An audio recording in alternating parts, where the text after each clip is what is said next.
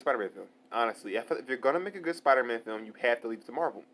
Honestly, you cannot, you can't have like Sony. They, they just don't click well. They just don't, man. I, you know, I, I it, it really sucks because like they because that's crazy because coming from two great movies, you know, Far From Home and Homecoming, two great movies.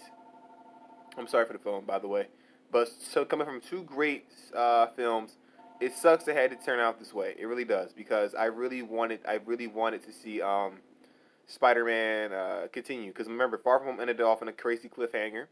Um, so and I really want to see what was going to happen next in the film. not trying to give out any spoilers or nothing, but still, you know, but it sucks. It really does. It's a shame.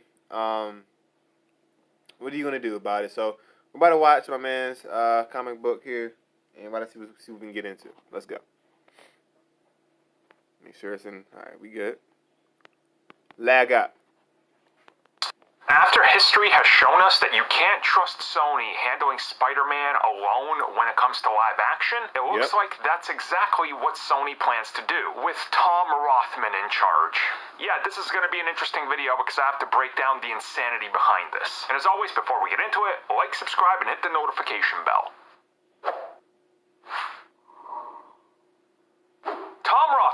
Some of you might know his name if you've been a fan for long enough. You guys know he was very important when it came to the X Men franchise. In the first two films, he wasn't as important, but he got bumped up when it came time to make X Men 3. And all those rush decisions and, and mistakes that were made, and X Men 3 ended up being a bomb, is because of him. But then, as the licensing goes, after X Men 3, they didn't know what to do, and Tom Rothman didn't want to spend more money on making a fourth X Men movie due to the actors wanting a pay raise.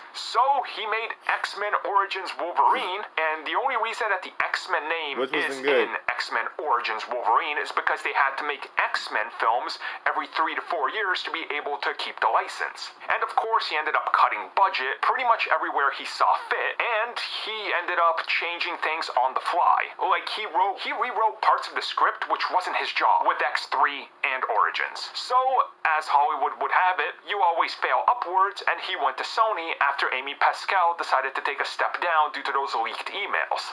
Now, Pascal made Spider Man in the MCU possible. Tom Rothman has a very big grudge against Disney and Marvel specifically. Oh, yeah, isn't that obvious? Kevin Feige, because Kevin Feige decided he didn't like what Rothman was doing with X Men and said, I'm gonna take all these characters and make Marvel Studios. Rothman laughed at him, and, well, history has shown us what happened. So now, as we're hearing, Tom Rothman is one of the core people behind Sony's decision not to play ball with Disney when it came to all the arrangements. And he believes that he's learned everything he can from Kevin Feige and how they write and make movies, and that he's gonna be the Kevin Feige of the Sony live action universe going forward. After he found himself making money with the likes of Venom and the upcoming Morbius, he hopes is a success. Now, this is honestly insane. Uh, you know, this guy, as I've just told you, I've recapped a quick history of him.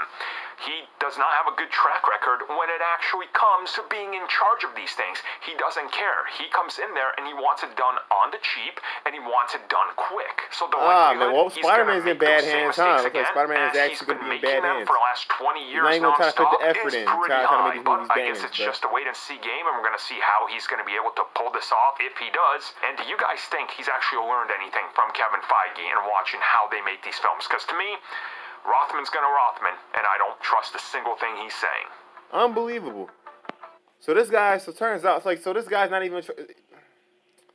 They, oh, guys, this, this, ah, boy, ah, it's a shame, man, because I love Spider Man so much, but what are you gonna do, bro? I mean, listen, it happens. Stuff like the business happens.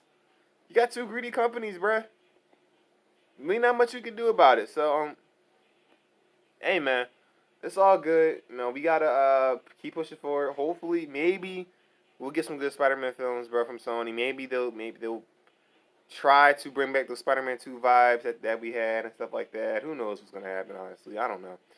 But um, anyway, guys, if you guys enjoyed this video, you guys drop a like, comment, subscribe. Thank you guys so much for supporting the channel as of late. We are at 623 subscribers. Thank you guys so much. We are growing um, growing pretty good. So let's, let's just keep grinding, man. But anyway, guys, I'll see you guys in my next video. Uh, I probably have a Cyberpunk video dropping later today, or yeah, later today. And um, yeah, anyway, bye. All right, guys.